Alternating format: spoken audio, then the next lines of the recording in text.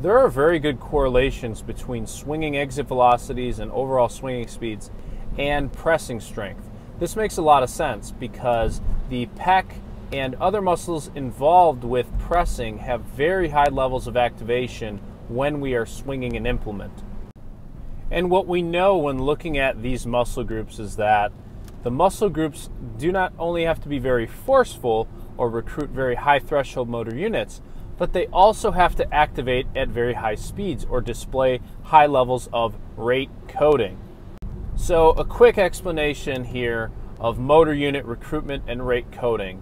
Basically, the central nervous system interacts with the brain that is transmitting a signal to the central nervous system saying, hey, we want to recruit X amount of motor units because we want to be very forceful. So then the central nervous system will respond and activate an appropriate threshold of motor units in order to get the job done. So, to put it simply, if we want to lift a very heavy weight, uh, then we are going to recruit very high threshold motor units. These high threshold motor units are attached to a lot of type 2 muscle fibers or those very fast twitch muscle fibers that produce a lot of force. And then, if we wanted to be uh, maybe a little bit more delicate with our movement, or perhaps we wanted to lift a very light load very slowly, then we would recruit low threshold motor units that are more attached to those type 1 muscle fibers that are more uh, sort of able to have very high levels of endurance whenever doing an activity. Well, what rate coding is, is it's the motor unit firing rate. So the central nervous system,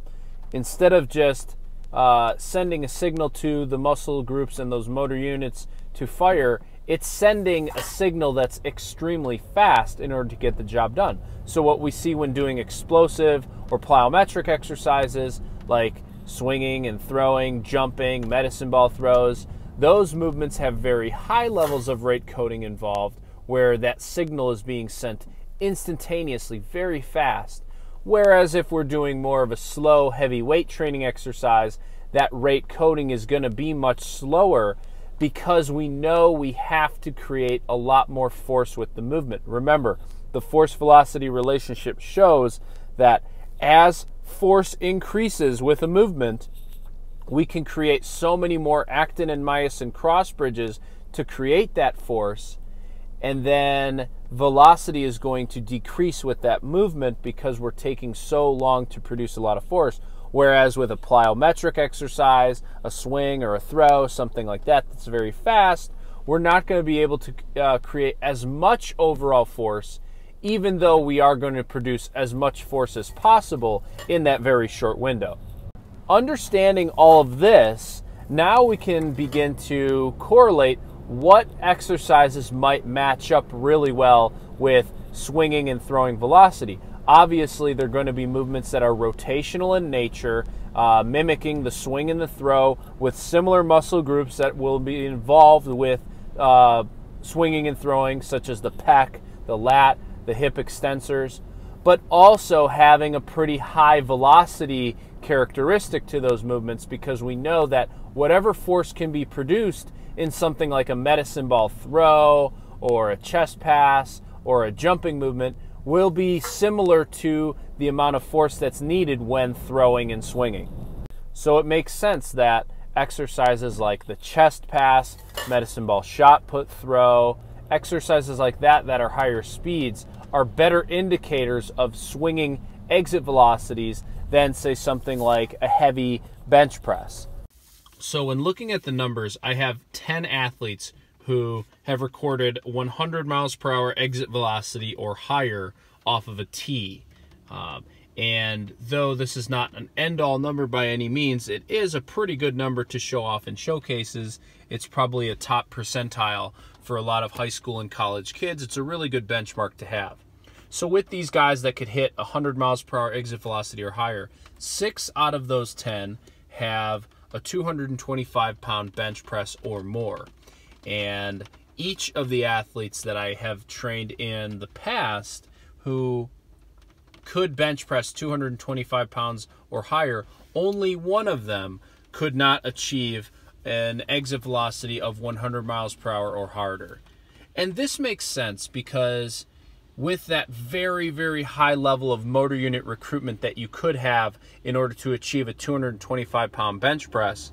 you would likely be able to activate the chest at a really high level when swinging and throwing. But I think what's happening here is it does not translate quite as well over to throwing velocity because we know throwing velocity goes through such a large range of motion in order to be successful. You have to uh, display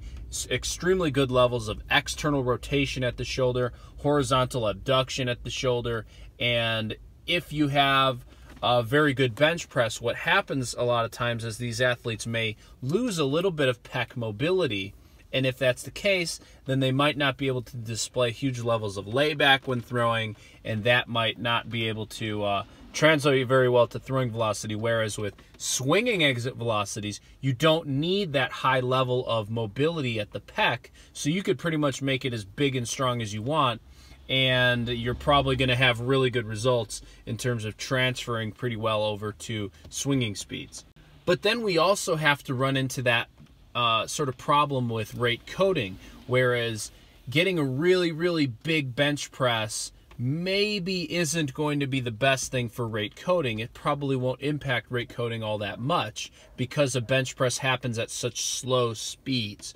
So, what I think might be happening there too is that the pec uh, it has very very high levels of rate coding when throwing a baseball and it probably responds better to other styles of training rather than just bench pressing all the time um, whereas maybe swinging uh, velocity does not in- involve quite as high levels of rate coding when activating the pec muscles so perhaps there are uh, better correlations there between a heavy bench press and swinging exit velocities rather than throwing velocities. Just thinking of how the pec works when we're swinging, I can really see that there really is not going to be huge levels of range of motion involved with the swinging action in comparison to the throwing action. Really, that what the pec is doing when swinging is it's just transferring energy into the implement that you're rotating. And if you can kind of keep that implement uh, rotating along that center of axis as you're rotating along with very explosive pecs, you're probably going to have a pretty good ability to swing an implement very fast. Whereas looking at the baseball, how the baseball gets really far away from the midline there, um, the limb that's throwing the ball really has to be activated fast when going from peak layback into internal rotation and all of that. So if you can activate those muscles super, super fast, you're probably going to have a better chance of being able to uh, transfer energy into throwing. So, to put it simply, what I see when looking at the numbers is that three pound medicine ball chest pass distance and three pound medicine ball shot put throw velocity correlates really well with baseball throwing velocity and correlates pretty well with swinging exit velocities. But when looking at those heavier medicine ball throws and obviously heavy pressing, there seems to be less and less of a good correlation going along with throwing velocity, but there's still a very strong correlation with swinging exit velocity. So, taking a final look at the last numbers that I've taken here with athletes, pretty much every athlete who can medicine ball chest pass 60 feet or further has a pretty good chance of being able to have a very good swinging exit velocity. Um, all those guys have very explosive chest, but the ones who could take the six pound medicine ball th- and throw it at 45 feet or further all could hit 100 miles per hour exit velocity or further. So there's definitely a good sort of mix of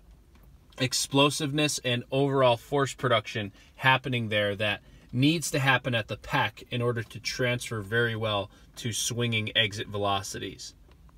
Of all the movements that I have tracked, the medicine ball shot put throw and the medicine ball rotational scoop toss seem to match up best with swinging exit velocities. So it's no uh, no surprise there that the ones who have the highest rotational scoop toss uh, scores with the three pound medicine ball and six pound medicine ball all were able to achieve the highest exit velocities of the guys that I tested.